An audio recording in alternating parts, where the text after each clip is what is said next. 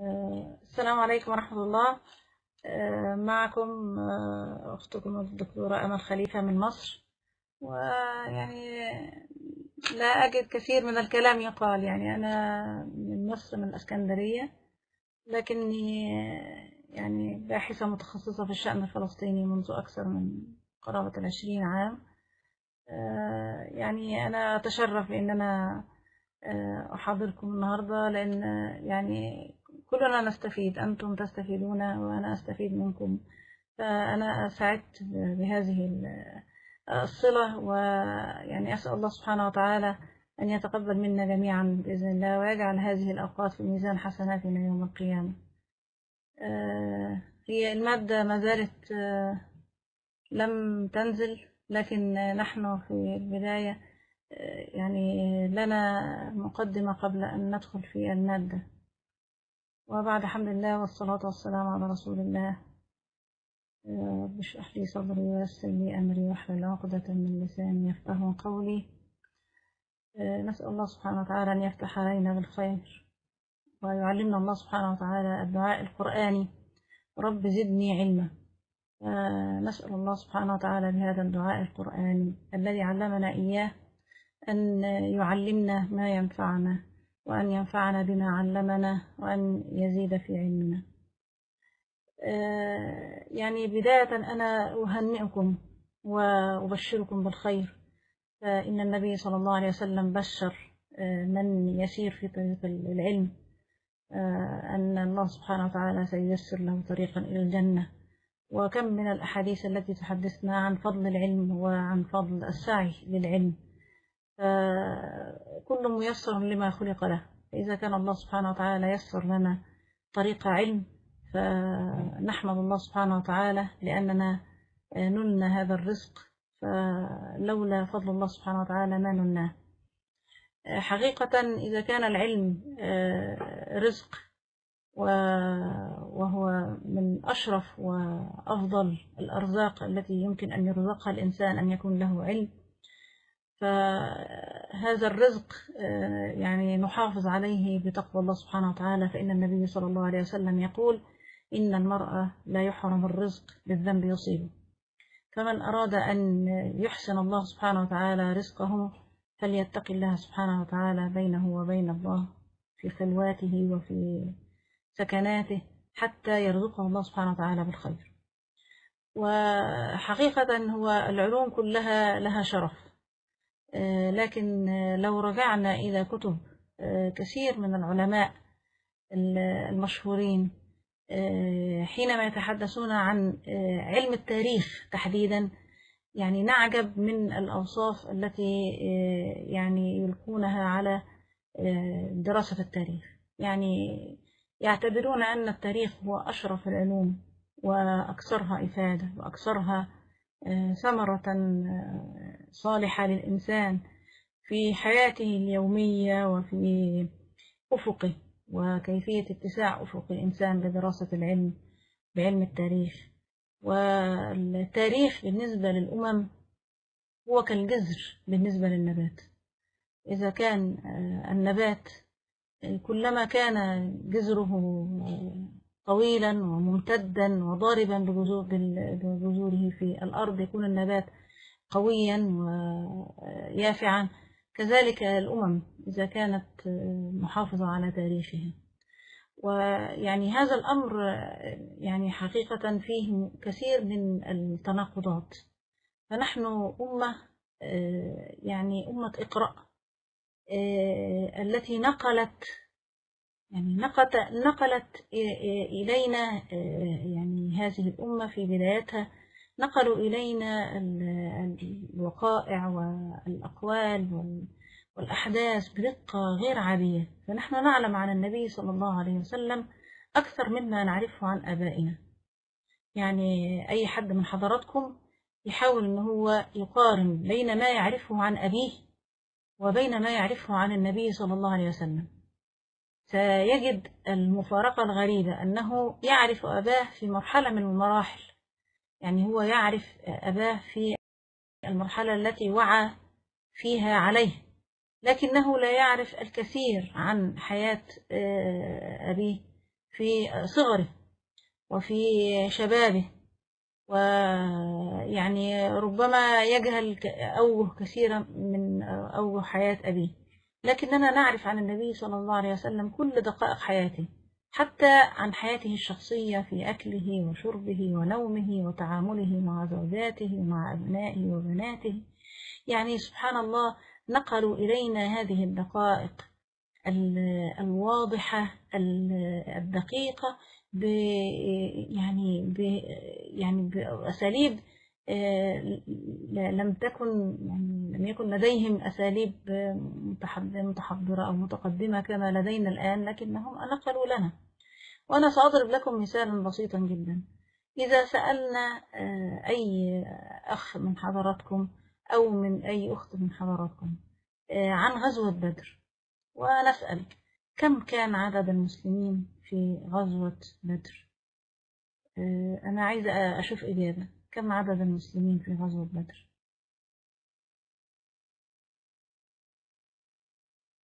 طيب إحنا الإجابات كلها يا 300 يا 313 وفي ناس بيقولوا 317 309 طيب أنا هسأل حضراتكم إحنا كده مختلفين في كام شخص؟ يعني حضراتكم إجاباتكم في الغالب ما بين 300 و 314 أو 317 يعني إحنا مختلفين في 17 شخص فقط صحيح؟ إحنا مختلفين في 17 نفر طيب أنا هسأل حضراتكم سؤال آخر في حرب 48 كم كان عدد الجيوش العربية؟ هم.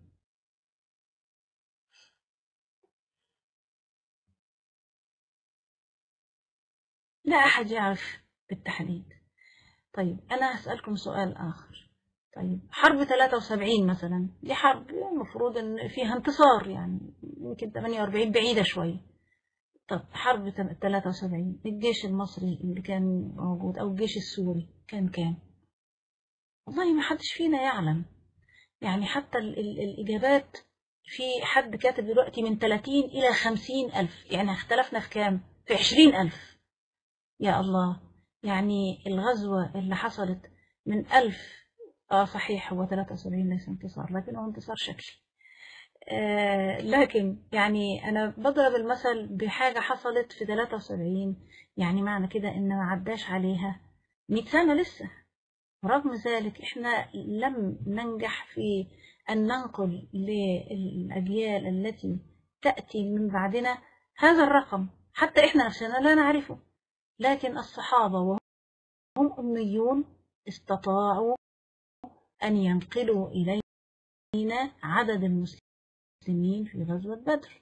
نحن كلنا نعرف أن في غزوة بدر كان النبي صلى الله عليه وسلم يفدي الكافر بأنه يعلم عشرة من المسلمين القراءة والكتاب.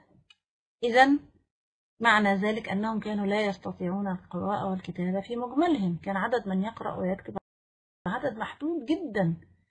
طيب إذا هؤلاء الأميون استطاعوا أن ينقلوا إلينا هذه المعلومات بدقة شديدة والأرقام بدقة شديدة ونحن لا نستطيع أن نكون في مثل هذه الدقة. شيء أمر غريب جدا ونحن لدينا الكمبيوتر ولدينا الأجهزة. ورغم ذلك لا نستطيع أن نصل إلى ما وصلوا إليه من الدقة. فإذا هناك في تناقض غريب جدا بيننا بين ما نحن فيه وحالنا وما نحن وضعنا وبين ما المفروض أن نكون فيه. حقيقة أن من يجهل التاريخ من يجهل تاريخ أمته هو يعني بالضبط أنا أشبهه بفاقد الذاكرة. الشخص حينما يفقد الذاكرة ليست المشكلة لديه أنه يجهل الأمس. آه يعني في أخ بيقول إن إن هو يعني الأرقام دي صعبة. لكن أنا أنا بضرب بها المثل حقيقة. بضرب المثل بأن إحنا حتى بالتقريب أحيانا لا نستطيع. يعني أنا أقدر أحط يدي أشير إشارة واضحة جدا على المكان اللي كان فيه النبي صلى الله عليه وسلم والجيش المسلم في غزوة بدر. يعني لو أنا آه، أمامي الآن الخريطة وفيها بئر بدر أستطيع أن أقول هنا كان يقف النبي صلى الله عليه وسلم والصحابة. لكننا لا نستطيع بمثل هذه السهولة أن نتحدث عن أي معركة دارت في التاريخ الحديث. يعني يعني إحنا عندنا معارك كتير حصلت في التاريخ الحديث. لا نستطيع أن نتحدث عن أي منها بمثل هذه البساطة لسبب بسيط جدا أن لا أحد يذكر هذه المعلومات لنا. لأنها إحنا قدامنا كتب كثيرة لا تتحدث إلا عن تحليلات وكذا لكن لا تذكر لنا كثير من الحقائق التي يعني نرجع إليها. ال- الحقيقة آه، هناك مفارقة غريبة جدا. أنا كنت بتكلم مع حضراتكم على أن الإنسان الذي يجهل التاريخ أو الأمة التي تجهل التاريخ هي أمة فاقدة للذاكرة. آه، مشكلة فاقد الذاكرة ليست أنه نسى الأمس. يعني هو هو ده هو ده الأصل. لكن مشكلته ليست أنه نسى الأمس مشكلته أنه لا يستطيع أن يعيش اليوم ولا يستطيع أن يأخذ قرار للغد. هذه المشكلة الكبرى له أنه لا يستطيع أن يعيش لأنه بلا ماضي. فالأمة كذلك تصاب بفقدان الذاكرة وجود حضراتكم و... ويعني يعني أقول إقبال الشباب بصفة خاصة على العلم والدراسة ده معناه أن الأمة لم يعني لم تمت ولكن هناك حراك كبير جدا ما بين فئات الشباب للتعلم وهكذا. تعلم التاريخ يعني حقيقة لابد وأن يعني يصاحبه ومن أراد أن يدرس التاريخ ومن أراد أن يتخصص في التاريخ لابد أن يصحبه بعض الأمور التي يجب أن يراعيها الشخص الذي يدرس التاريخ. أن نعرج عليها سريعا يعني ونتمنى أن الإخوة ينزلوا المادة سريعا لأن بعد هذه النقطة سنبدأ في عرض الصور. يعني أول هو دكتورة إذا سمحت. في دراسة التاريخ هو دكتورة نعم. نعم. دكتورة إذا سمحت إحنا على الباوربوينت تبدو عندنا مش عم بستجيب بسهولة فعم بنزل لك صور. فالآن أول شريحتين هي منزلين وهيك بنزل لك يوم تباعا. خلاص ما فيش مشكلة. آه، القواعد خلاص. القواعد التي من الضروري أن أن يراعيها آه، دارس التاريخ أو المتخصص في الت- التاريخ آه، أول شيء الدقة. الدقة في النقل. وهذا الأمر يعني نحن يعني الدقة في الأمر ده يعني نحن أهل الدقة. لأننا نحن آه، يعني من عرف عنا كأمة علم علم علم رجال الحديث علم الرواية عن فلان عن فلان فالدقة في النقل. آه، أحيانا كثير جدا الواحد يرى في بعض الكتب وقعة معينة نجدها موجودة ومنتشرة وهذه الواقعة نجد في النهاية أن لها مصدر واحد. يعني التاريخ ووقائع التاريخ لا تؤخذ من مصدر واحد. لابد أن يكون هناك أكثر من مصدر. وأكثر من مصدر مختلفين عن بعضهم البعض أمر آخر غير الدقة والأمانة في ال- الأمانة في النقل آه، للأسف الشديد آه، كثير من المتحدثين عن قضايا القضايا العامة يعنيه بالضرورة أن تكون روايته الرواية التي يرويها للناس أن تكون مشوقة أكثر وأن تكون جاذبة أكثر فقد يخرج آه، عن نطاق ال- العلم ونطاق آه، التدقيق لأنه هو يريد أن يلفت الأنظار أو يتحدى. هذا هذا ال- الكلام كان يقوم به القصاص قبل ذلك حينما يروون قصة أبو زيد الهلالي وكذا ويؤلفون القصص لكن من من يروي التاريخ لابد أن يكون دقيقا. حتى لو كان آه، يعني هذا الذي يرويه لا يعجبه أو يعني لا يتماشى مع هواه. آه، من الأمور الهامة في دراسة التاريخ ودراسة الوقائع التاريخية أن يكون الإنسان له إلمام بالصورة النهائية. يعني إيه الصورة النهائية؟ يعني نتخيل كده إن التاريخ أو دراسة جزء من التاريخ وطبعا التاريخ كله مرتبط ببعضه لكن دراسة جزء من التاريخ نتخيل أنه كأنه بازل. تعرفون لعبة البازل بتاعت الأطفال؟ يشبكون البازل هكذا وقطع يدخلوها بعضها عشان تظهر مادة آه، في النهاية آه، رسمة رسمة كبيرة. آه، يعني نتصور إنسان ينظر إلى بعض القطع من البازل وهي لم تركب بعد فيجد ورد زهور فحينما يرى هذه الزهور يقول أن هذه الصورة صورة البازل هذه لحديقة. الحقيقة أن الأمر يكون غير ذلك تماما. تكون هذه الزهور مفرش لمنضدة فيكون هو يحكم على شيء خاطئ بالمرة. لذلك هناك بعض الوقائع التاريخية حينما ننظر إليها من وجهة واحدة أو ننظر إليها ببساطة مش عايزة أقول بسذاجة قد نحللها بطريقة غير صحيحة. يعني يعني كمثل بسيط جدا آه، إن لو دخلت حجرة معينة الحجرة دي فيها كراسي وفيها آه، منضدة كبيرة وفيها منضدة صغيرة وفيها آه، مكتبة وفيها وفي على المنضدة يوجد آه، فازة يوجد آه، آه، مثلا وعاء صغير طفاية سجاير مثلا أو أو شيء يعني فيها شيء في حلوى. فأنا أترك محتويات الغرفة كلها وأخذ هذا الشيء فقط وأ- وأسهب في وصفه. فيتخيل الإنسان الذي يسمع لي أنني حينما أدخل الغرفة سأجد هذا الأمر. طب وأين كل الأمور الأخرى؟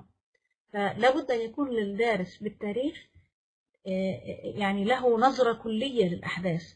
وهناك يعني سذاجة لابد أن نبعد عنها. يعني نقول مثلا إن فلان الفلاني جرد هذه الحملة الكبيرة. لماذا؟ لأنه كان يريد شيء بسيط كده صغير لا يعني مش ممكن. يعني هذه هذه الأخطاء يقع فيها الكثيرون ولا بد أن نتوخى الدقة الشديدة في آه، هذا الأمر. آه، طبعا آه، يعني أنا لا أريد أن أطيل في هذه المقدمة لكن أقول أن في النهاية لابد أن يحتسب الإنسان الدارس للتاريخ يحتسب الوقت الذي يقضيه في الدراسة يحتسب فيه الأجر عند الله سبحانه وتعالى. ويعتبره نوع من الجهاد. يعني أنا كثير من الأوقات أعتبر أن آه، السهر بالليل في تجميع مادة ودراسة مادة وكذا آه، هو لون من ألوان قيام الليل لأنه آه، علم وأن هذا الأمر أمر هام للأمة. يعني حقيقة نحن لابد أن نجبر كسر يعني شاركنا فيه كثيرا أنا لا أريد أن أحمل غيري أو نحمل غيرنا. الخطأ لكن الخطأ موجود. ال- ال- القضية الفلسطينية قضية أصلا آه، في اهتمام آه، الكثيرين في الأمة وخاصة مثلا أبناء التيار الإسلامي مثلا آه، في بؤرة الاهتمام منذ آه، آه، أجيال يعني. يعني منذ عشرات السنين والقضية آه، ساخنة. ورغم ذلك الأجيال الحديثة ال- ال- الأولاد الصغيرين والشباب الصغيرين الآن حينما نسألهم نجد أنه آه، لا يعلمون شيء عن فلسطين. المعلومة غائبة تماما. ماذا أورثنا هؤلاء؟ ما هو الذي ورثوه منا؟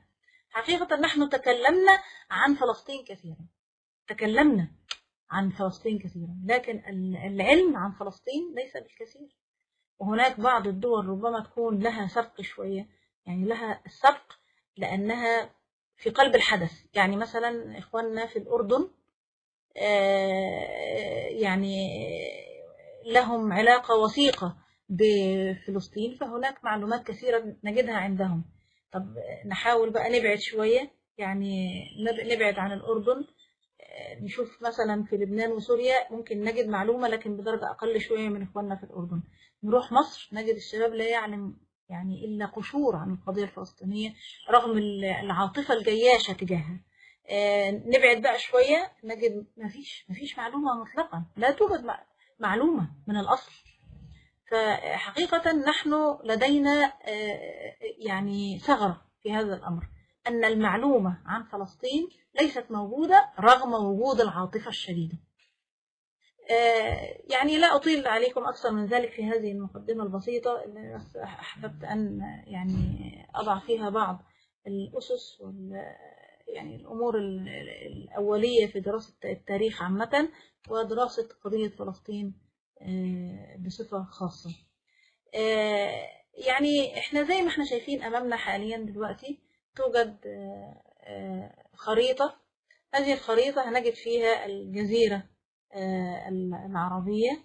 آه، آه، يعني في حد بيعلق بيقول نقصد الاهتمام العلمي لا العاطفي. إحنا العاطفة عندنا ما شاء الله لا قوة إلا بالله. العاطفة موجودة في كل بلاد المسلمين مش هقول كل بلاد العرب فقط ولكن آه، آه، يعني بلاد المسلمين. نجد إخواننا في أندونيسيا في ماليزيا. عاطفة غير عادية غير عادية. يعني أنا آه، يعني زرت في مرة جامعة أفريقيا. في السودان في الخرطوم وكان فيها آه، شباب من مختلف ال- يعني بلاد الأرض من كل الدنيا يعني. ففوجئت بأن من ينشد لفلسطين شاب من تايلاند وأن ال- الفريق الذي أتى من بعد يرتدي الكوفية الفلسطينية ويتغنى بفلسطين كانوا من أندونيسيا. يعني شيء آه، شيء غريب. أنا والله يعني بكيت تأثرا من وضعه من قراءة آه، مطلع سورة الإسراء اللي قرأه أخ من جزر القمر. يعني العاطفة موجودة لكن هي المشكلة في العلم. والعاطفة بدون علم هي عاطفة آه، يعني قابلة أن تخفت في كثير من الأوقات وتحتاج إلى مدد كل فترة حتى تشتعل أو حتى يتذكر الإنسان وممكن يأتي آه، أحداث تنسي الإنسان آه، هذا الأمر. لكن العلم لابد يكون لدينا آه، علم بهذه القضية. فإحنا بنجبر كسر وبنسد ثغرة حينما نتحدث عن تاريخ القضية الفلسطينية بعلم وليس بعاطفة. زي ما إحنا شايفين قدامنا الخريطة خريطة بلاد الشام. فلسطين هي جزء من الشام. ولدينا يعني يعني تقسيم آه، قديم معروف أن هناك ما يعرف بالجزيرة العربية.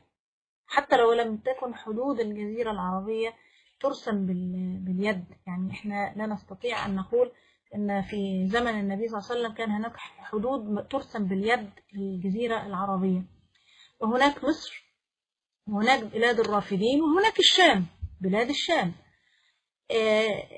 كان قديما ال- الأماكن بين ما بين الدول وبعضها أو ما بين يعني المناطق وبعضها آه، لا ترسم بخطوط يعني هي كانت تعرف بالتخوم. يقال تخوم فارس وتخوم آه، الروم. أما الآن هي تعرف بالحدود. فما هو الفرق بين التخوم والحدود؟ الحد هو خط لكن ال- التخوم هي منطقة. فكان هناك آه، منطقة اللي هي تعتبر آه، المنطقة المحيطة بالدولة يعني دولة يعني دولة فارس إمبراطورية فارس. المنطقة المحيطة بها كانوا بيتعمدوا إن هم يجعلوا فيها قبائل موالية لهم لكن ما فيش خطوط ما كانش فيه آه، حدود لكن كان فيه تخوم. لذلك لم تكن ترسم الخرائط بحدود ما كانش فيه خرائط. يعني كانت مجرد إن هي أماكن متعارف عليها. فبلاد الشام مصطلح قديم جدا أن هناك شيء اسمه بلاد الشام. فبلاد الشام كانت منطقة هي ما يطلق عليه الآن آه، سوريا ولبنان والأردن وفلسطين.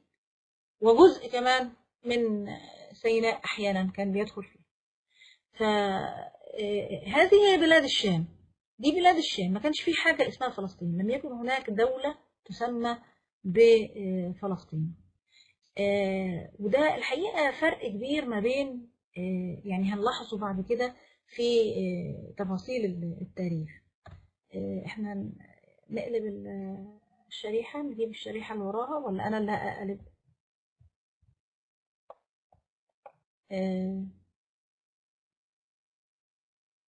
يعني مش عارفة هل أنا اللي هقلب ولا أنتوا اللي حضراتكم اللي هتقلبوا؟ أيوه. أيوه. آه، يعني إحنا طبعا مش هنقدر إن إحنا نستعرض ال- التاريخ بتاع فلسطين من القديم إحنا هنتكلم عن التاريخ الح- الحديث. لكن على وجه العموم دائما كانت آه، فلسطين كانت صحيح إنها جزء من الشام لكن كانت في الحكم كانت غالبا تكون تابعة لمصر. يعني لا آه، في أخت بتسأل مصر تابعة لبلاد الشام؟ لا أنا بقول في جزء من مصر كان بيدخل في بلاد الشام.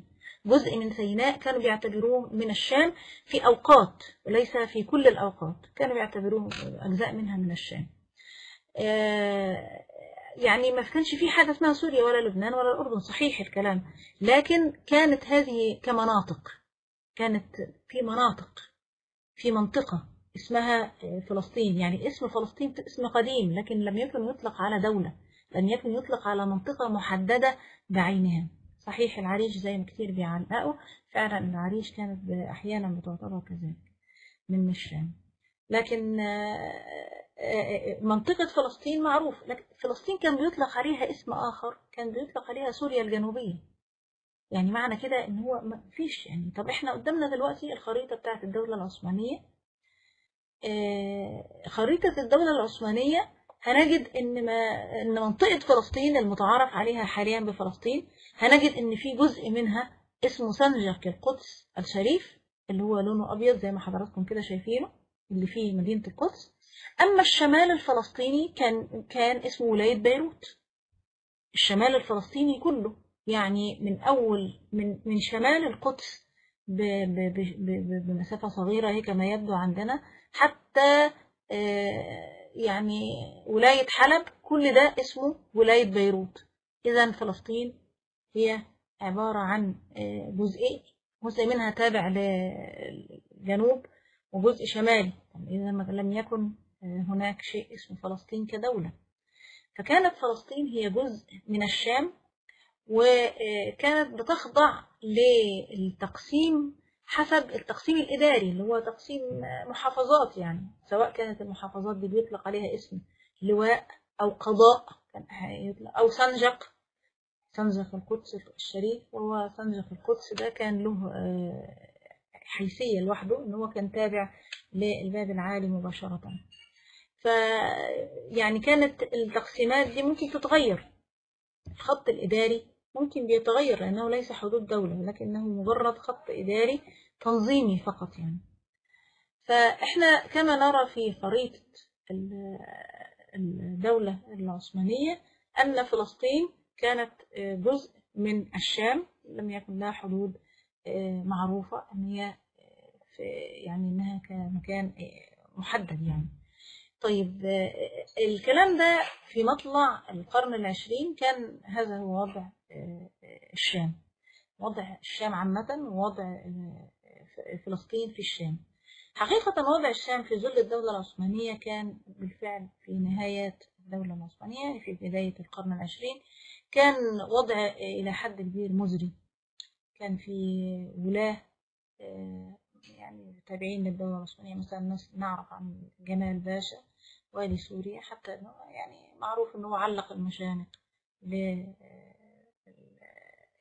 للقادة والزعماء في المنطقة. علق لهم المشانق في مايو 15 سنة 15 يعني واقعة مشهورة جدا معروفة كان إلى حد ما وضع مزري والحقيقة إحنا ما نقدرش نتكلم عن آه، القضية الفلسطينية في بداية القرن العشرين إلا حينما يعني إلا ونتحدث عن الدولة العثمانية. من مواصفات دراسة التاريخ أنه لا يوجد شيء اسمه اسمه حياد في دراسة التاريخ.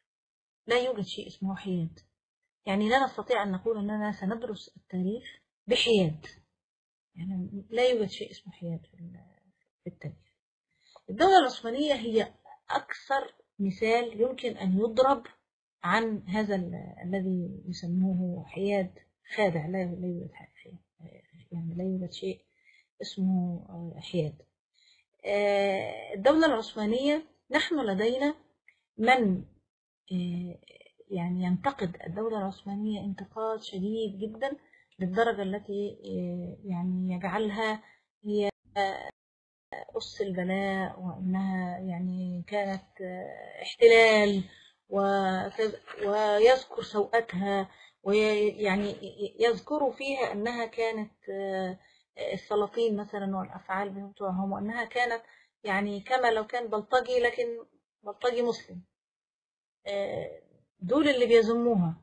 يأتي على النقيض والطرف الآخر من يمتدح الدولة العثمانية أتكلم عنها عن أنها حامية حمى الإسلام وأنها هي التي آه، يعني تحفظ بيضة الدين وأنها آه، يستش- يستشهد طبعا بمآثرها وحمايتها للإسلام وللدين ومقدمات الكتب نجد فيها حفظ الله آل عثمان وأدامهم حماة للدين وحافظين لبيضة الدين الإسلام.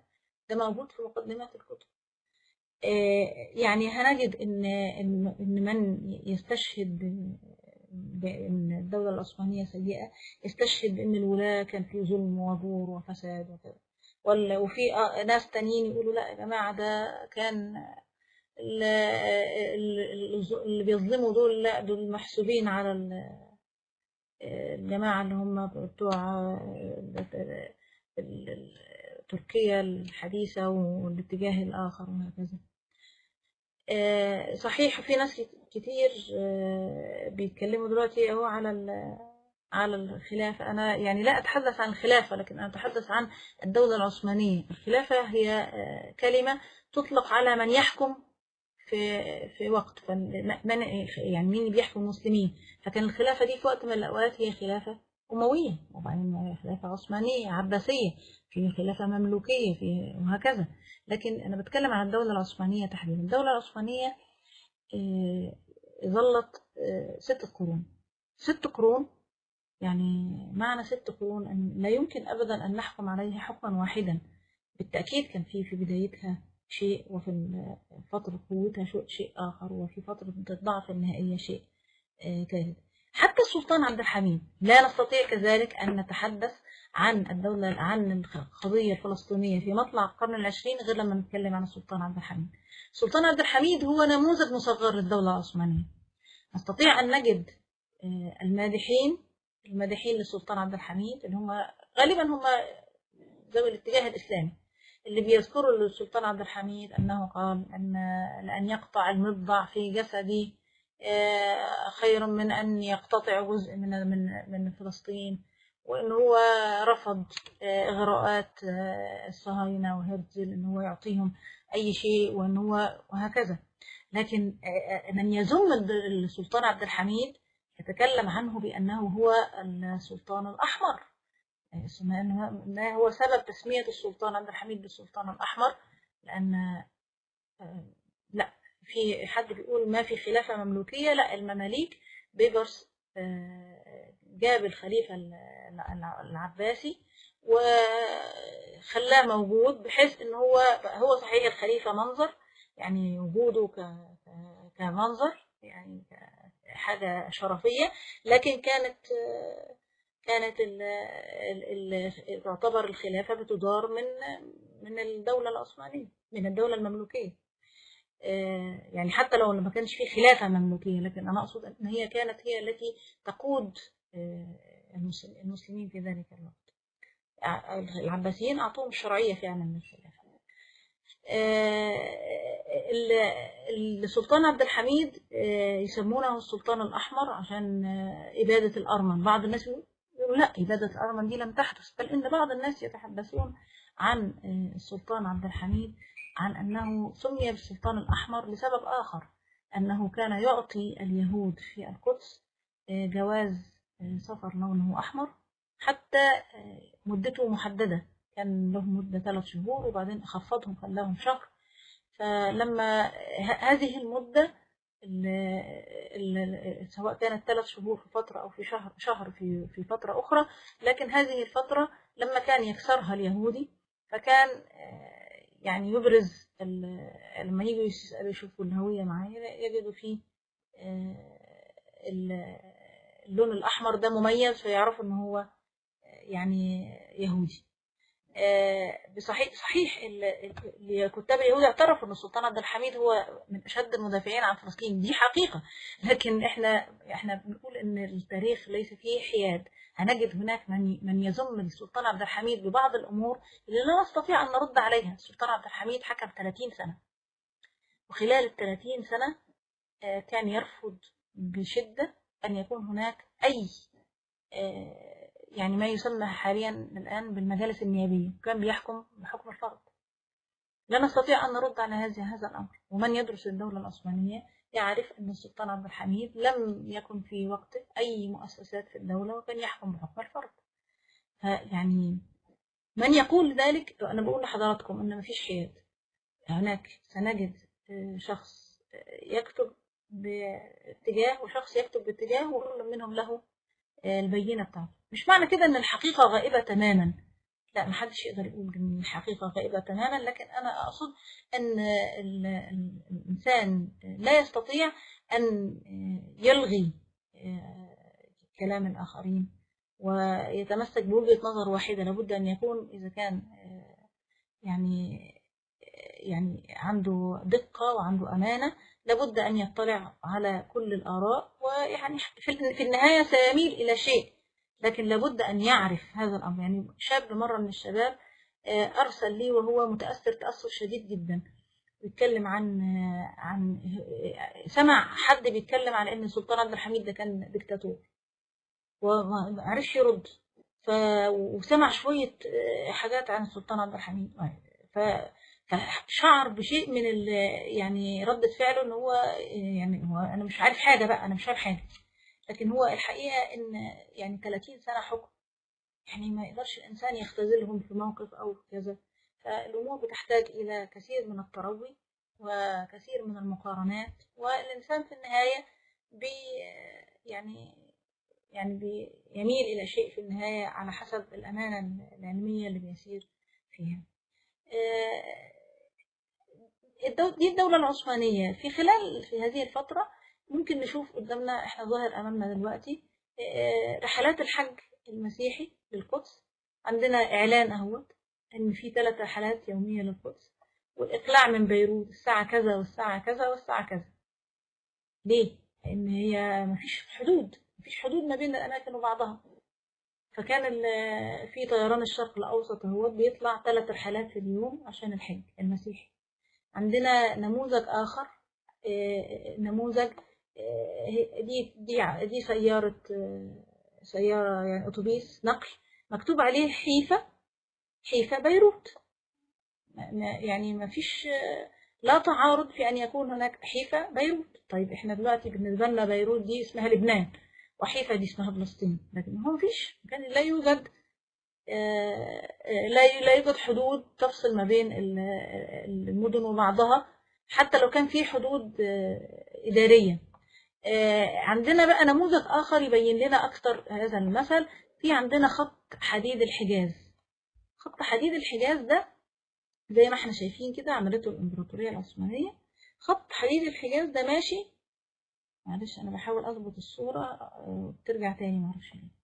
آه، بيفضل ماشي أهو من دمشق ومرورا بيمر يعني إحنا كده لو هنقول هنمر بإيه بال- باللي إحنا نعرفه آه، هنجد إن هو هيمر في سوريا وهيمر في لبنان وهي أو يمكن في سوريا ويدخل على طول على فلسطين في داخل هو في عكا مش مش مرر بلبنان داخل لعكا والنابلس ومرورا بع- بعمان آه، آه، يعني دخل كده الأردن وبعدين طلع ودخل بقى الحجاز نفسها لغاية انتهاء بالمدينة المنورة. ده خط حديد الحجاز.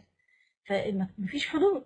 مفيش حدود ما بين آه، سكة القطار كانت تمتد من اسطنبول. أنا بتكلم على المنطقة المنطقة العربية. يعني هو بتبدأ عندنا في في سوريا دخلت عندنا في سوريا. لكن هو هو يعني بي بي يعني كان ده كانوا حتى عاملين خط حديد معروف اسمه هو اسمه BB غير خط حديد الحجاز BB. BB ده كان آه، برلين بغداد. يعني يعني مفيش مفيش مفيش ما يحد آه، إن هم يعني يتحركوا آه، كيفما يشاءوا. إحنا عندنا المحطة الأولى الكبيرة اللي هنتكلم عنها هي آه، الحرب العالمية الأولى. آه، الحقيقة آه، دراسة الحرب العالمية ال- الأولى والثانية من الأمور ال- يعني الهامة جدا في التاريخ الحديث. يعني أنا أعتقد إن إن ال لا يدرس أو يعرف ولو حتى أمور بسيطة عن الحرب العالمية الأولى والحرب العالمية الثانية آه، يعني هيجهل كثير من الحقائق وهيشعر بأن هو يعني في حاجات كثيرة غايبة عنه ومش هيعرف لها معنى مش هيعرف لها تفسير. الدولة العثمانية زي ما قلت لحضراتكم هي ست قرون يعني. كان في وقت من الأوقات كانت آه، بريطانيا وفرنسا إنجلترا وفرنسا في أوروبا يعني كانوا آه، يعني أكثر ما يخافوا منه رغم أن كان في دائما منافسة ما بين إنجلترا وبين فرنسا لكن أكثر ما كانوا يخافوا منه هو هو ال- الإمبراطورية الروسية. أن الإمبراطورية الروسية تتوغل وت- وتأتي إليه. فكانوا بيجدوا في الدولة العثمانية حاجز طبيعي. يحول بين تمدد الإمبراطورية الروسية. لذلك آه، في فترة طويلة جدا آه، في القرن التسعة عشر يعني لغاية آه، يعني نهاية القرن التسعة عشر كانت إنجلترا وفرنسا كانوا بيدعموا الدولة العثمانية دعم حقيقي دعم حقيقي يعني دعم شديد جدا لدرجة إن هم كان عن عندهم استعداد إن هم يحاربوا بالوكالة عن الدولة العثمانية. يعني التاريخ يحفظ لنا حرب معروفة باسم حرب حرب القرم أو حرب القرم. هذه الحرب كانت في منتصف القرن التسعة عشر سنة 1854 هذه الحرب في منتصف القرن التسعة عشر كانت مفروض إنها بين الدولة العثمانية وبين روسيا. الدولة العثمانية آه، يعني كان أصابها الضعف في هذه الفترة. فكانت آه، روسيا شكلها كده هتجتاح الدولة العثمانية. فكانت النتيجة إن إنجلترا وفرنسا حاربوا بالوكالة عن الدولة العثمانية. ودخلوا يعني الأسطول الإنجليزي والفرنسي دخلوا إلى البحر الأسود يحاربوا مباشرة آه، روسيا. وبالفعل هزموا روسيا. هزموها وفي الآخر هو مين اللي هزم روسيا؟ يعني مين مين اللي بيقال عنه إنه هزم روسيا؟ يعني يعني في في في أخ أخونا هيثم كاتب إن إنجلترا وفرنسا حاربت إلى جانب الدولة العثمانية. حقيقة هي لم تحارب إلى جانب الدولة العثمانية ده هي كانت بتحارب بنفسها مش إلى جانب. يعني في بعض الحروب ما هو الحرب بتبقى عبارة عن يعني جولات. في بعض الجولات لم يكن فيه وجود أصلا للدولة العثمانية كانت الحرب مباشرة بين الإنجليز والفرنساويين من ناحية وروسيا من ناحية أخرى. هذا الأمر ليس حبا في في الدولة العثمانية لكن هم كانوا يجدوا أن الدولة العثمانية هي الحاجز الوحيد الذي يمنع الإمبراطورية الروسية من التمدد في أوروبا. هذا الأمر في نهاية ال- ال- الحر ال- ال- ال- القرن التسعة عشر صحيح أخونا يا هيثم بيقول إن الجيش العثماني شارك في الحرب مشاركة فعالة لكن أنا بقول لحضرتك إن بعض المعارك دارت ما بين الأسطول الإنجليزي وبين الأسطول ال- ال- الروسي. لم يكن فيه عثمانيين أصلا. لكن الجيش العثماني بالتأكيد حارب لأن دي الحرب دي على أرضه. لكن الجيش ال ال ال الإنجليزي والفرنسي وخاصة الأساطيل حاربت يعني بالوكالة عن الدولة العثمانية. ما كانتش مستنية الأوامر إن هي تأتيها من صاحب الأرض اللي هو الدولة العثمانية ولكن هي كانت بتتحرك بفاعلية هي بنفسها في هذا الأمر. آه، يعني هذا الأمر تغير في نهاية نهايات القرن التسعة عشر آه، سبب التغير أن آه، ال- بريطانيا وفرنسا بدأ يحصل بينهم وبين آه، روسيا نوع من أنواع التقارب. يعني طب ما إحنا نتفق ونتصالح مع روسيا وبالعكس في هذه الحالة إحنا كلنا المستفيدين ان إحنا نقسم الدولة العثمانية علينا. يعني يعني بدأت هذه الفكرة يعني تبدو أكثر وجاهة من ان إحنا نظل ندعم في الدولة العثمانية ولذلك طلع يعني مصطلح ال- الرجل المريض أو كذا إن هو إن الأفضل لنا بدل ما ان إحنا نفضل نصدر في الدولة العثمانية تمنع التمدد الروسي طب ما إحنا نتحالف مع روسيا. فتكون النتيجة إن إحنا لما نتحالف مع روسيا إن إحنا ممكن نقسم ما بيننا ال- الدولة العثمانية. آه، الدولة العثمانية في ذلك الوقت وجدت أنه لابد أن يكون هناك بديل. في طبعا لو نعرف لو تعرفوا حضراتكم أن في حاجة اسمها الوفاء الودي. الوفاء الودي ده آه، حصل ما بين آه، بريطانيا وبين آه، الدو- الإمبراطورية الروسية في البداية كان سنة 1904 وبعد كده حصل آه، ما بين الوفاق الودي أسف بين بريطانيا وفرنسا هم نفسهم تصالحوا وبعدين في 1907 بريطانيا وروسيا. وخلاص بقينا حبايب إحنا نتفق إحنا مع بعض مش لزوم ابدا إن إحنا نحتاج لحد يعمل لنا بفر زون بينا المصطلح بفر زون ده مشهور إن هو المنطقة الحاجزة يعني. مش عايزين حد يحجز ما بيننا وبين روسيا لأن خلاص إحنا أمنا شرها. آه، الحقيقة آه، كان لابد للدولة العثمانية أن تجد حليف بديل. وكان الحليف البديل ده هو ألمانيا.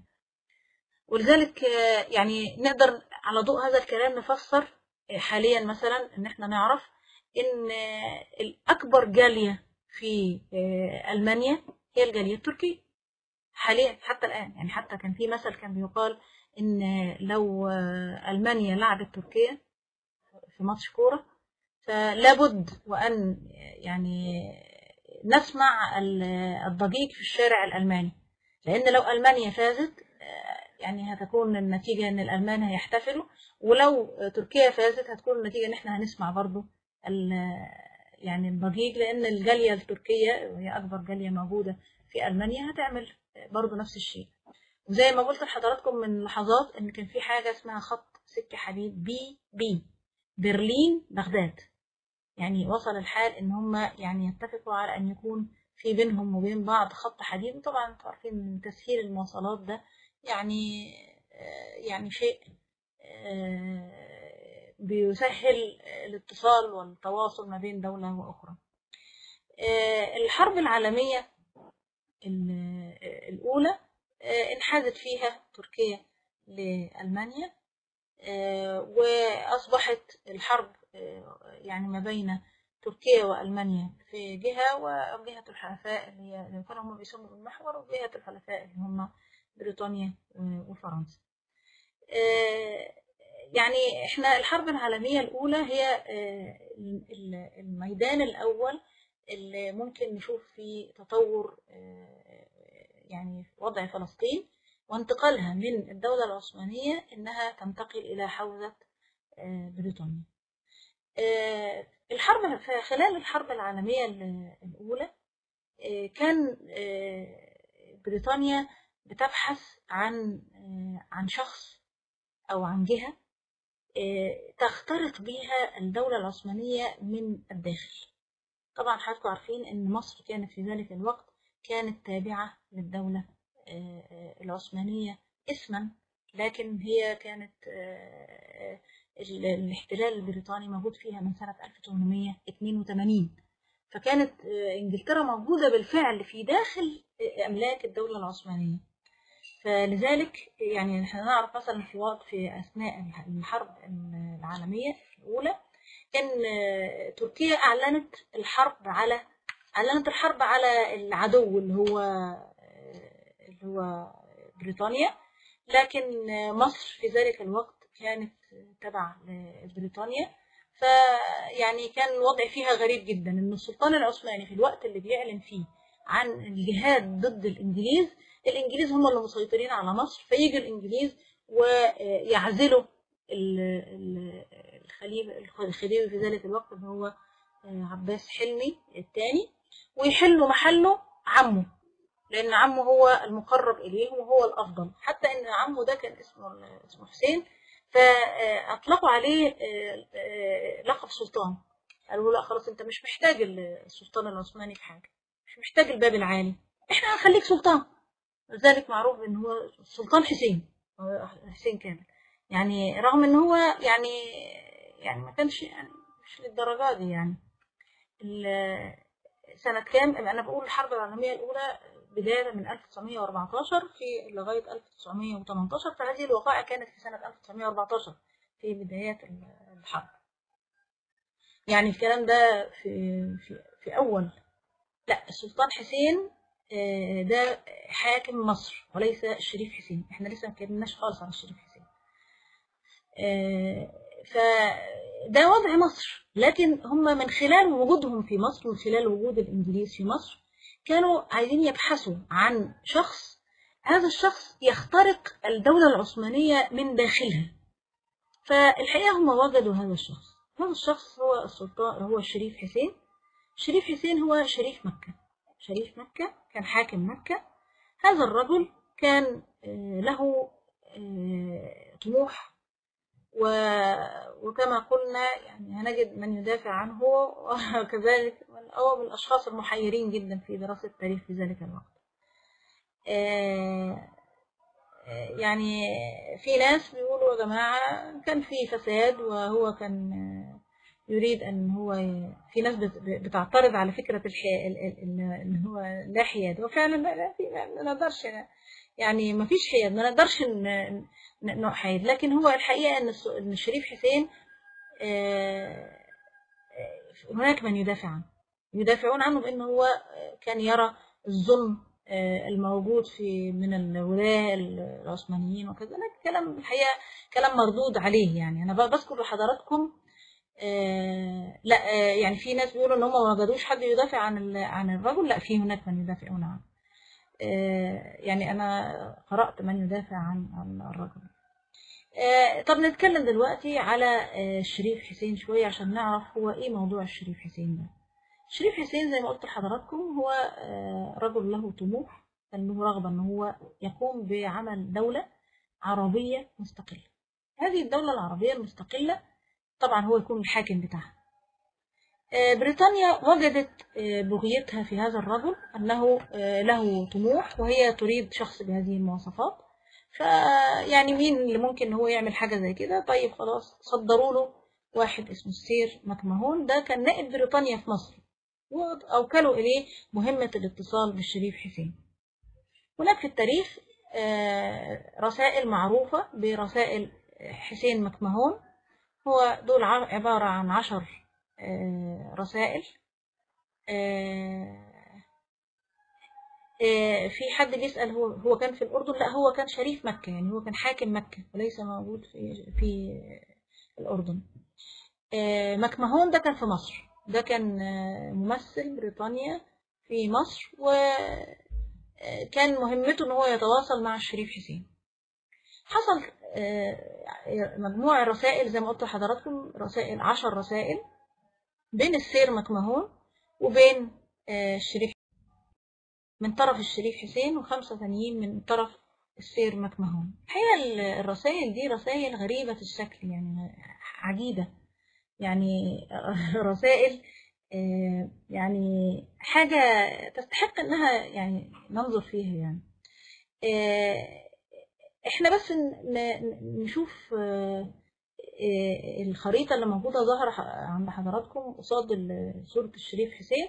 هنجد إن هي دي عبارة عن خريطة عن تصور الشريف حسين عن الدولة العربية المستقلة. هنجد إن الدولة العربية المستقلة دي هي كل الجزيرة العربية آه، كل أو أغلب كل بلاد الرافدين اللي هي العراق كلها وكل الشام كلها دخولا في آه، ما يعرف الآن بتركيا. يعني داخل فيها جزء كبير جدا من اللي يعرف حاليا باسم تركيا.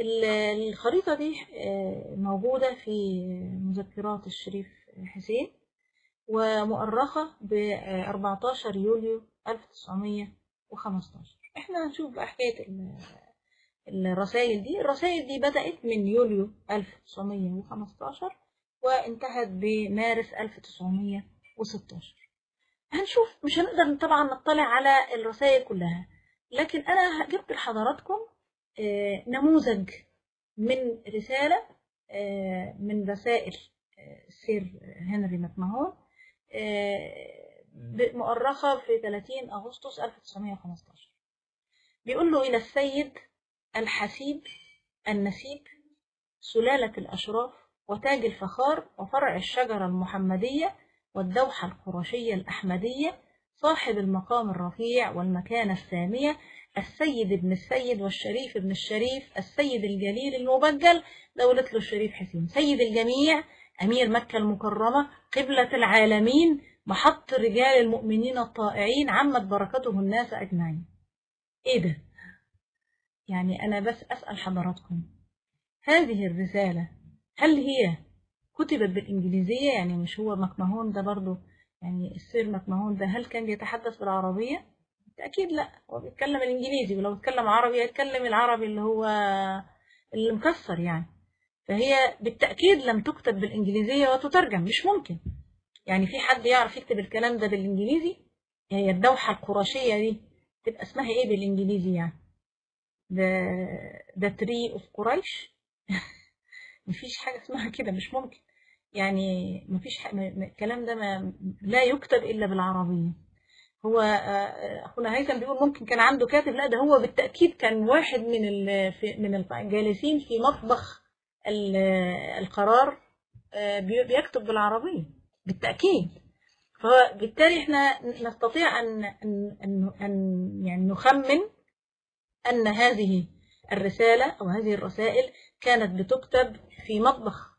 المطبخ ده يعني أقصد إن هو مش مطبخ يعني بيطبخوا فيه لكن هو عبارة عن لجنة وكذا. مهمتها إنها تضحك على هذا الرجل بأي طريقة وتصل إليه عن طريق نقطة آه، ضعف عنده اللي هو إن هو يعني لا هو فعلا الإنجليز ما راح يعجزهم يكتبوا رسائل بالعربي لكن ما يقدروش يكتبوا كده.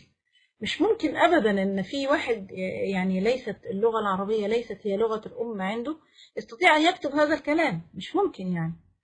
يعني ال ال النهاية أن أن هذه الرسائل آه، نتج عنها آه، أمرين. نتج عنها الأمر الأول اللي نتج عنها أن الشريف حسين رسم هذه ال- ال- الخريطة لتصوره وهم يعني لم يعترضوا على هذا التصور وكانت النتيجة آه، الحقيقة كان في جملة جميلة جدا قوي قوي يعني في رسالة من الرسائل آه، بيقول له إن جلالة ملك بريطانيا العظمى يرحب باسترداد الخلافة يرحب باسترداد الخلافة ورجوعها إلى بلد عربي صميم من فرع تلك تلك الدوحة النبوية المباركة. كلام واضح جدا وكلام جميل جدا إن جلالة ملك بريطانيا متضرر من إن آه، ال- الحكم العثماني ده آه، حكم دخيل لا هو يعني يتمنى إن تعود الخلافة إلى الأصل العربي ويأتي مش أصل من أي حتة يعني لا من الدوحة النبوية المباركة. يعني حاجة جميلة جدا يعني. هو آه، بريطانيا هت- هتشد الرحال وتحارب مع مع الشريف حسين عشان من أجل آه، إقامة دولة عربية وتبقى خلافة. بس خلافة عربية. يعني هم مش عايزين مش عايزين يم- يعني حاشا لله إن هم يعني يكونوا معادين للخلافة وكذا. لكن هو المشكلة كلها عندهم إن هذه الخلافة هي خلافة ع- عثمانية وهي دخيلة. هم عايزين خلافة عربية.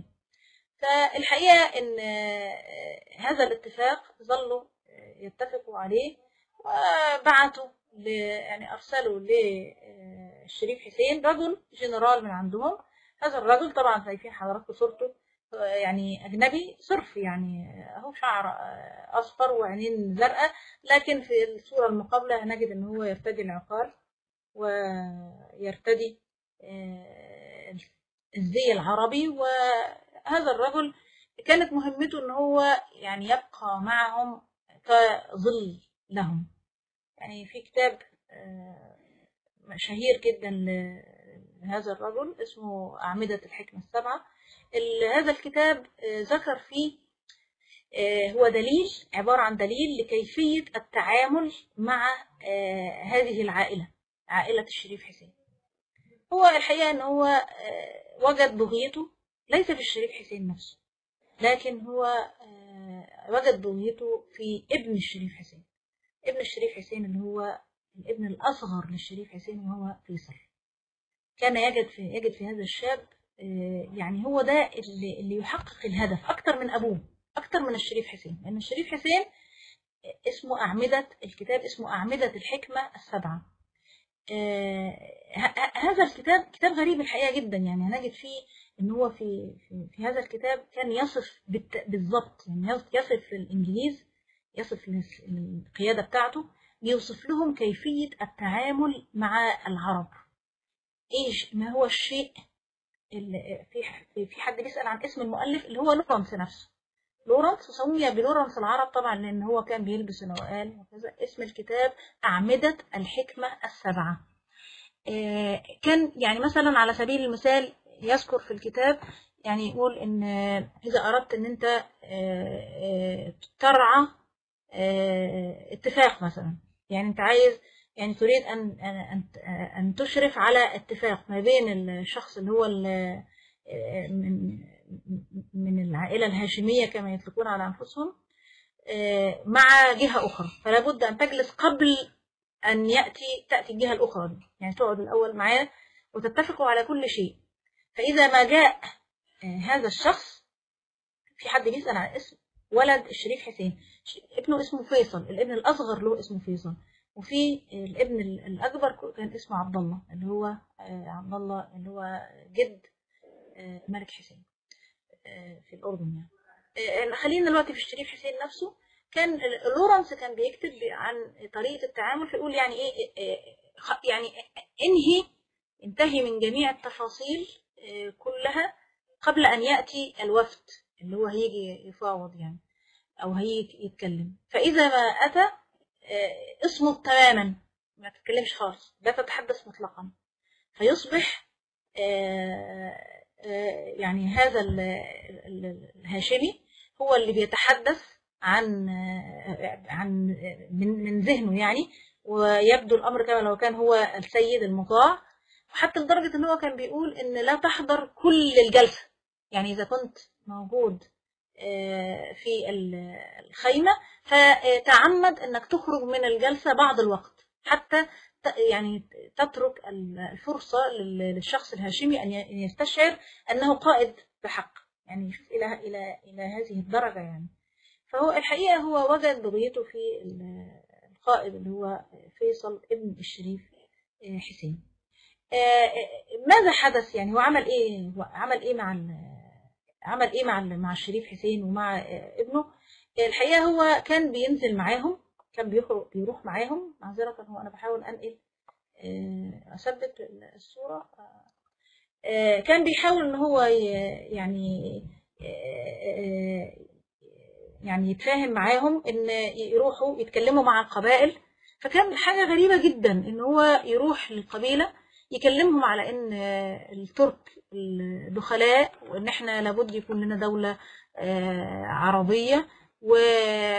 و- ولما يعني يحين وقت هذا الأمر لابد إن إحنا تحطوا إيديكم في إيدينا فتكون النتيجة هو طبعا الشريف حسين أعلن عن ال- الثورة اللي سماها الثورة العربية الكبرى أعلن عنها في 10 يونيو سنة 1916 يعني هو التفاهمات دي كلها حصلت في سنة 15 في 10 يونيو أعلن الثورة العربية الكبرى. كان الموقف غريب جدا. كان يروح يروحوا يتكلموا معاهم ويقولوا لهم إن إحنا عايزين الدولة العربية ويحلفوا على المصحف على القادة بتاعت الزعماء زعيم القبيلة وكبار القبائل وكذا.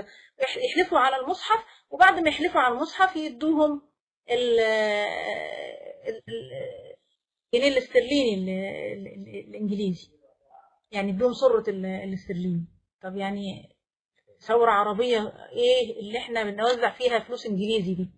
يعني الشاهد في الموضوع أن استطاع فيصل تحديدا أن آه، يعني كما يقولون أن يقوم بتربيطات قام بالتربيط وقام بالاتفاق مع كبار آه، القبائل وزعماء القبائل في منطقة آه، سوريا في منطقة دمشق وكذا استطاع أن هو آه، يتفق مع عدد كبير من آه، القبائل.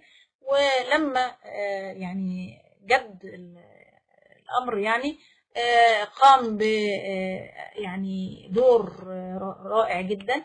هذا الدور نستطيع إن إحنا يعني نلحظه في مراسلات بعد ذلك. الغريب إن أثناء هذه المحادثات أثناء يعني إحنا بنقول يعني إن المحادثات دي آه، حصلت في سنة 15 في نفس هذا التوقيت كانت بريطانيا بتتفق مع فرنسا اتفاق آخر.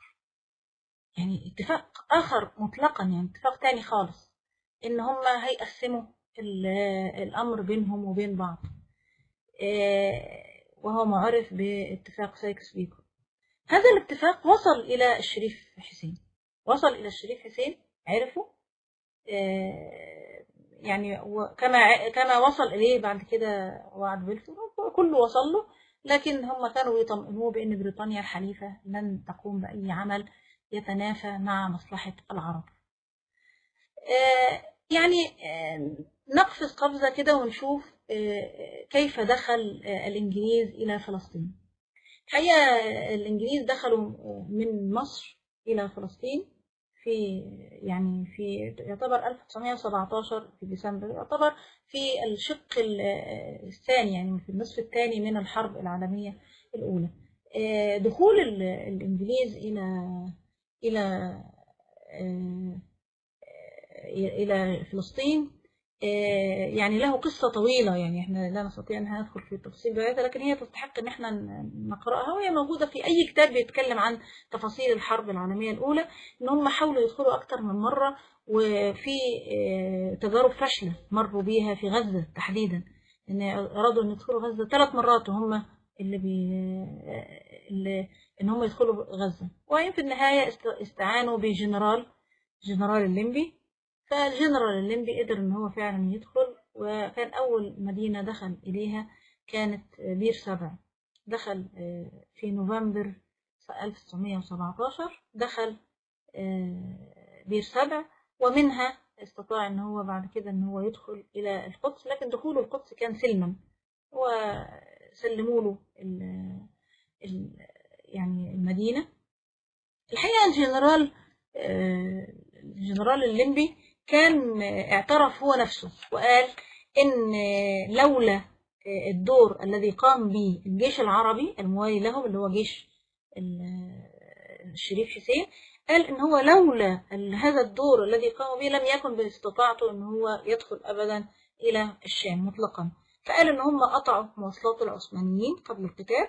الشيء المهم جدا إن هم فجروا خط سكة الحديد قطارات الحجاز لأن هو ده اللي كان بيأتي بالمدد. وكان هو ده الوصلة ما بين يعني المدد بيوصل عن طريقه من الشمال. فهم فجروه فمنعوا الدعم التركي للحجاز وطردوا الجيش التركي من من مدن الحجاز واعترف لهم بالفضل حتى إن هو كان في خطاب أرسله هو الجنرال الليمبي أرسل خطاب آه، آه، رسالة لوزارة الحربية البريطانية في سنة 18 يعني بعد نهاية الحرب بيقول بي- بيشكر فيه جلالة ال- الشريف حسين اللي هو بيسماه بقى جلالة الملك حسين ملك الحجاز بي- بيشكر له إخلاصه العظيم يعني حاجة جميلة جدا. هو مش بيشكر له بس مجرد إن هو كان بيساعدهم لكن هو بيشكر له إن هو كان مخلص إخلاص عظيم جدا لقضية الحلفاء.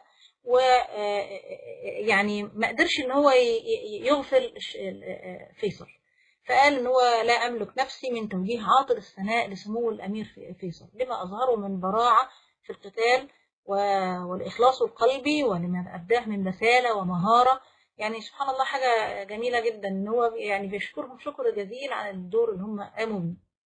آه، دخول آه، الليمبي إلى فلسطين لم يكن آه، يعني لم يشارك فيه كثيرا الشريف حسين أو أولاد الشريف حسين. يعني الجيش البريطاني دخل إلى فلسطين من غير مساعدة كبيرة من آه، الشريف حسين وأولاده لكن هو دخولهم في في سوريا وباقي الشام هو اللي كان آه، مهمة وطبعا يعني الانتهاء من مدن الحجاز كلها. إحنا عندنا هنا صورة قدامنا صورة دلوقتي حضراتكم شايفينها. آه، دي صورة الجنرال الليمبي وهو داخل إلى القدس. شايفين طبعا الجنرال الليمبي؟ هت- هلفت نظر حضراتكم لحاجتين في الصورة دي. الحاجة الأولى إن الجنرال الليمبي داخل ماشي على رجليه. يعني رغم إن إن في في الصورة في يسار الصورة هنجد واحد بحصان راكب حصان.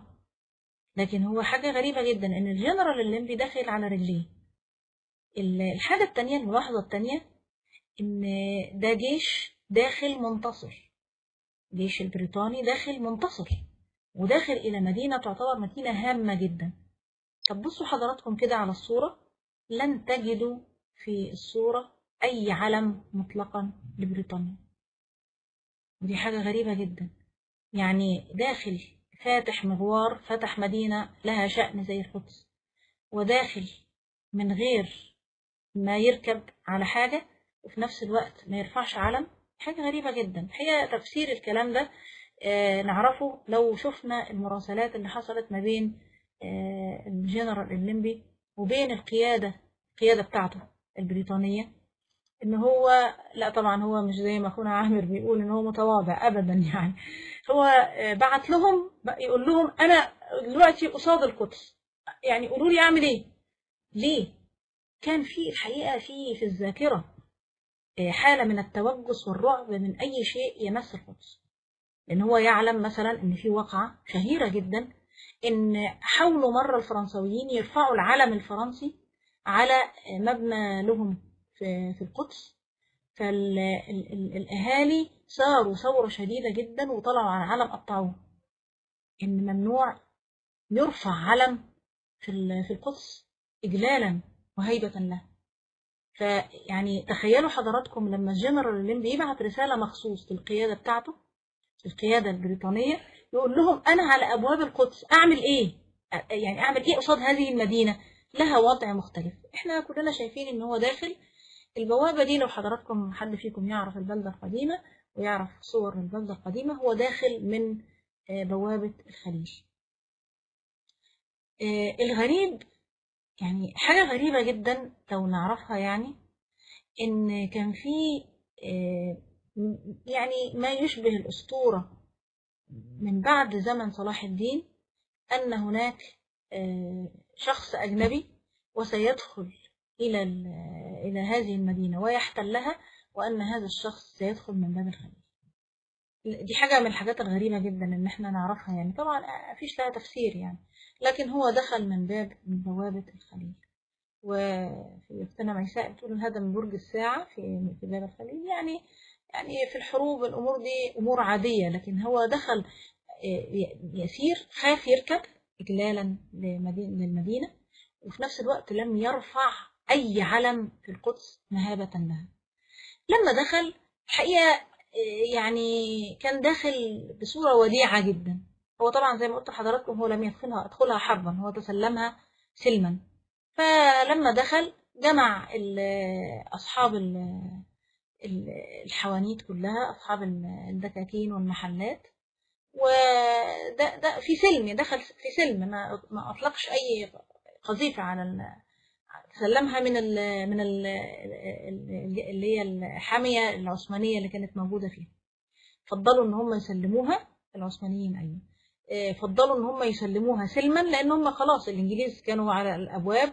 ويعني لو حاولوا إن هم يدافعوا عنها المدينة هتقصف وكذا فانسحبوا وتركوا لهم المدينة.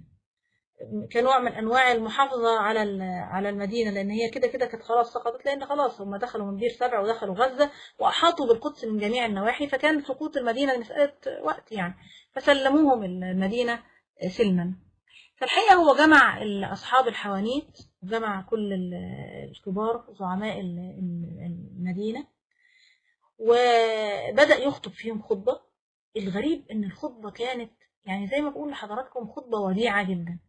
الخطبة كان بيتكلم فيها عن إن هو بيشجعهم على إن هم يفتحوا الحوانيت بتاعتهم إن هم ما يخافوش ويعيشوا ويبتدوا يعني يمارسوا حياتهم بصورة عادية جدا. الخطبه كانت وديعة جدا يعني ومشجعة إلى أقصى أقصى درجة. يعني لا تعكس ابدا حالة حرب ولا كذا. لكن الغريب إن هو في نهاية الخطاب في نهاية الخطبة يعني قال جملة عجيبة جدا. قال الآن انتهت الحروب الصليبية. يعني الجملة دي يعني يعني الغريب إن طبعا الخطابات دي موجودة حتى لو حضراتكم حبيتوا تقرأوها موجودة على على النت. لو كتبتوا اسمها بس هتلاقوها موجودة يعني. الحاجات دي بتبقى كوثائق يعني موجودة. لو تقرأوا الخطبة تستغربوا جدا. الخطبة لا يعني علاقة لها بالجملة الأخيرة الجملة كلها الخطاب كله بيشجع الناس على إن هم يمارسوا حياتهم ومفيش أي مشكلة يعني. إيه علاقة الجملة الأخيرة بتاعت والآن انتهت الحروب الصليبية؟ يعني الحقيقة هو هي زلة لسان زيها زي بتاعت بوش كده لما قال إن هي مش عارفة. يعني يعني سبحان الله ربنا سبحانه وتعالى بي بيوقع ال ال الناس دول بإن هم الإناء ينضح بما فيه إن هو يخرجوا ما عندهم حتى لو حاولوا إن هم يعني يخفوه ولو قليلا. ده كان وضع القدس لكن وضع سوريا كان مختلف. طيب إحنا نشوف بس دلوقتي ما يخص آه، فلسطين ونعرج بعدها على وضع آه، المنطقة المجاورة. أنا زي ما قلت لحضراتكم هم دخلوا إلى مدينة بير سبع أول نوفمبر. في أوائل نوفمبر دخلوا بير سبع. تاني يوم مباشرة صدر ما يعرف بوعد بلفور من هو بلفور؟ بلفور ده هو آه، وزير آه، خارجية آه، بريطانيا في وزارة لويد جورج. هذا الرجل كتب رسالة رسالة غريبة غريبة الشكل كده فهو كوزير خارجية بيقول فيها إن حكومة صاحب الجلالة ترى بعين العطف تأسيس وطن قومي للشعب اليهودي في فلسطين وستبذل غاية جهدها لتسهيل تحقيق هذه الغاية. على أن يفهم جليا أنه لم يؤتى بعمل من شأنه أن ينتقص مع الطوائف غير اليهودية الموجودة في فلسطين. أو الحقوق والوضع السياسي الذي يت... التي يتمتع بها اليهود في أي بلد آخر يعني من الناحيتين. شوفوا حضراتكم بيتكلم عن اليهود رغم إن هم كانوا أقلية في فلسطين في ذلك الوقت بيتكلم عليهم على إن هو هيخليه لهم وطن قومي ومش هي... مش هيضر الطوائف غير اليهودية الموجودة في فلسطين. طبعا ليه؟ كلمة الطوائف غير اليهودية يعتبر إن اليهود هم الأساس وإن الطوائف دي كما لو كانوا هم الأقلية. الأمر يعني اتقلب يعني. والجملة اللي وراها على طول الحقوق والوضع السياسي التي يتمتع بها اليهود الوضع السياسي الذي يتمتع به اليهود في البلدان الأخرى اللي اليهود بيقيموا فيها. يعني هو بيحفظ حق اليهود في يعني اليهودي اللي عايش في مثلا في سواء كان في بريطانيا أو في روسيا أو في أي حتة الوضع السياسي بتاعه زي ما هو. محدش يقول له أنت أصبح عندك دلوقتي دولة وكلام من ده. إيه إيه يعني ما هذا النص العجيب؟ وخاصة إن هو هذا النص الغريب بيخاطب به واحد شخص. يعني هو نص غريب قوي يعني. نتكلم بقى شوية عن ملابسات هذا النص. هو بيكلم عزيزي اللورد روتشيلد واحد يهودي وبيقول له الكلمتين دول. طبعا رسالة غريبة الشكل يعني. عايزين نشوف إزاي صدر هذا الوعد. كيف صدر وعد بلفور الحقيقة وعد بلفور ده له جذور كتيرة جدا وله حيثية كده ربما يعني ما ما نستشعرهاش إلا لو بحثنا عنه لوحده يعني. الشخص الأساسي في وعد بلفور هو رجل يهودي اسمه حييم وايزمان حييم وايزمان هو الرجل الثاني اللي لمع اسمه بعد هيرتزل. رغم إنه كان فيه اثنين يعني جم بعد هيرتزل سبقوا حييم وايزمان لكنه حييم وايزمان من الاسم الثاني اللي لمع بعد هيرتزل مباشرة. حييم وايزمان هو يهودي روسي وهو يقول عن نفسه هو اللي بيقول عن نفسه في المذكرات بتاعته بيقول إن أنا أكره روسيا هو يكره روسيا رغم إن هو يهودي روسي. هو يقول أنا يهودي ويعني يعني على مضض يقول إن هو من روسيا. يعني يكتفي أحيانا يقول أنا يهودي وفقط. آه هذا الرجل في زمن الحرب العالمية الأولى إحنا بنتكلم دلوقتي على 1917 من الحرب العالمية بادية بقى لها كام سنة أهو طيب الفترة اللي فاتت دي كان فيها إيه؟ ماذا حدث من أول 1914 أو حتى 15 و16 قبل صدور وعد بلفور؟ حييم وايزمان رغم إن هو كان روسي لكن هو كان بيتنقل هو كان كيميائي هذا الرجل استطاع إن هو يحضر مادة مادة الأسيتون هنجد في كل المصادر لما تيجي تتكلم عن حييم وايزمان يتكلموا عن إن هو اخترع الأسيتون. الحقيقة الكلام ده غير صحيح لأن مش هو ما اخترعش الأسيتون ولا حاجة الأسيتون كان في وقته كان مخترع وكل حاجة. لكن هو هذا الرجل استطاع إن هو يعني يحضر الأسيتون بطريقة مختلفة عن الطريقة اللي هي اللي كانت موجودة في المعامل بصورة عادية حيين وايزمان في بهذه الطريقة اللي قدر فيها إن هو يعمل هو نجح في تح... الأسيتون كان قبل ذلك بيتعمل من التخمر البكتيري فكان بيحتاج يعني خطوات معقدة كتير جدا عشان يخرج في النهاية